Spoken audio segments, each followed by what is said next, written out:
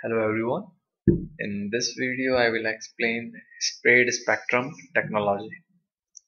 So before going for spread spectrum let's see what's the problem with the conventional wireless communication. So uh, in conventional wireless communication a single frequency used for transmission.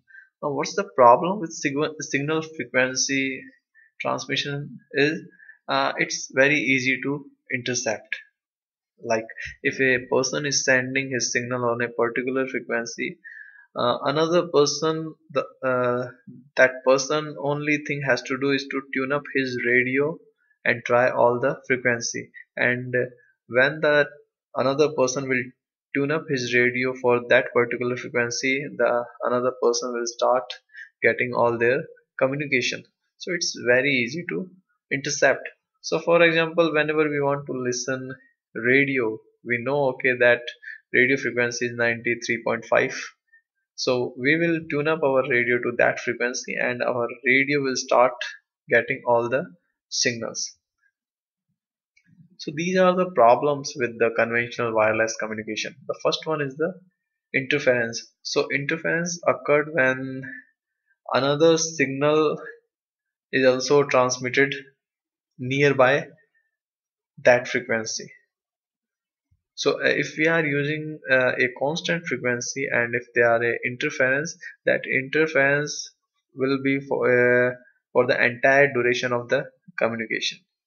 The second problem is the interception which we have already discussed uh, it's very easy to intercept because uh, only a single constant frequency is in use. So if a confidential information has to be sent in that case this conventional wireless communication is not the good option.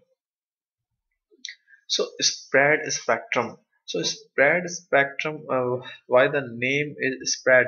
So actually the signal is spreaded over the channel bandwidth. So uh, the bandwidth of transmitted signal is determined by the message to be transmitted and by the additional signal known as spreading code. So this code we will see in this lecture. So this spread spectrum uh, this is the one of the example in which sender is using multiple frequency for sending sending his data. So when multiple frequency are in use it's very easy to intercept because uh, some part of the communication is sent over another frequency some part is sent over another frequency. So it's very hard to find out their complete communication. It's very hard to intercept. So these are the advantage of the spread spectrum technology. First one is the reduce interference.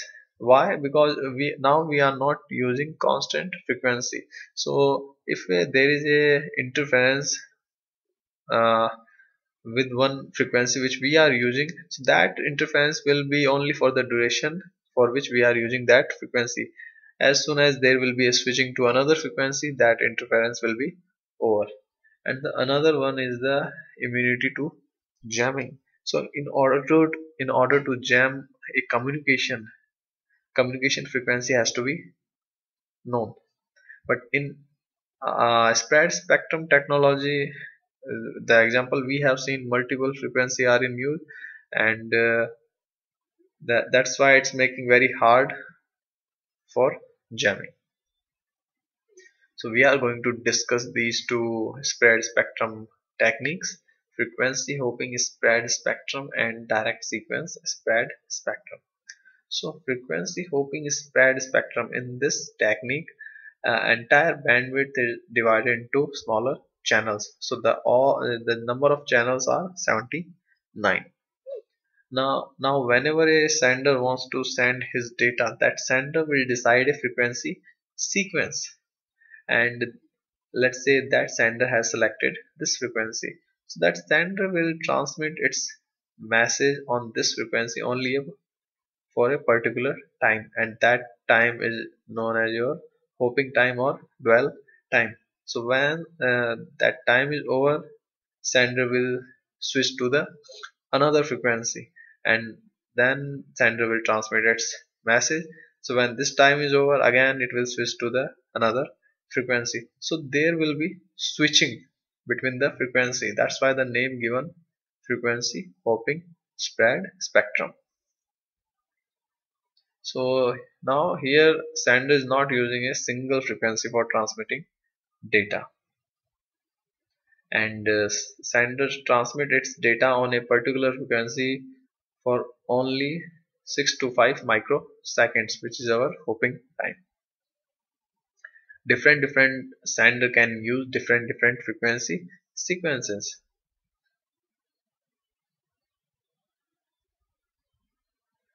So uh, frequency of carrier is periodically modified following a specified sequence of frequency. So this concept uh, what is the meaning of this statement? I will show in the next slide. And the, that sequence is actually known as spreading code. And the amount of time spent on each frequency or hop is known as dwell time which we have seen in the previous slide as hopping time so following frequency hopping sequence message is modulated. So let's see FHSS with the help of example.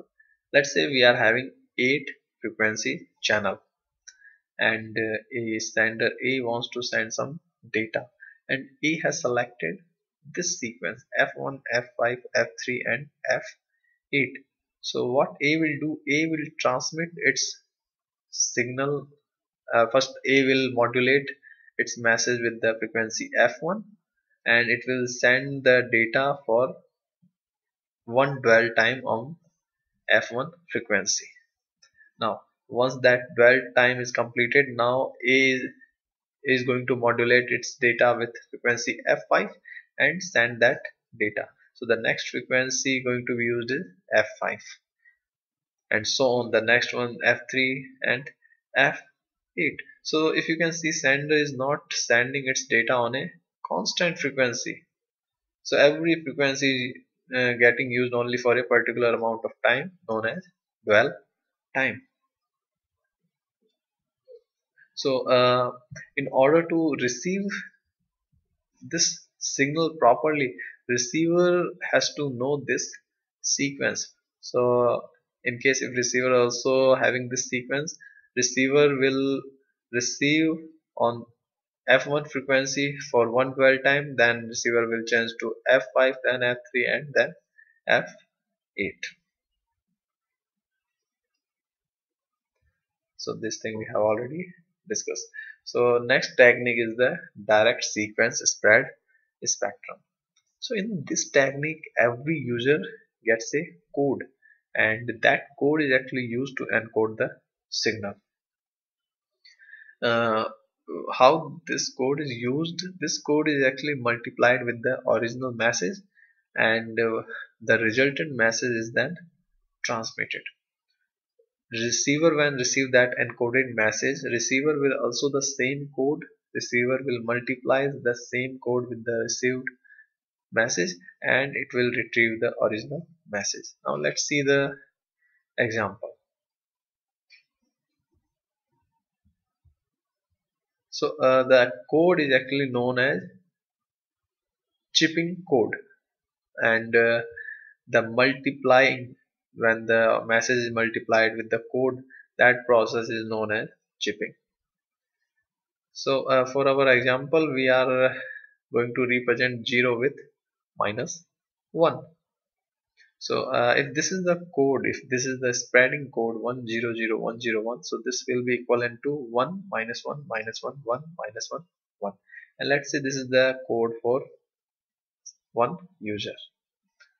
And let's say this is the original data which is going to be sent 1 1 so this minus 1 is actually 0 so we are representing 0 with minus 1 and this is our high bandwidth spreading code which we have seen in the previous slide.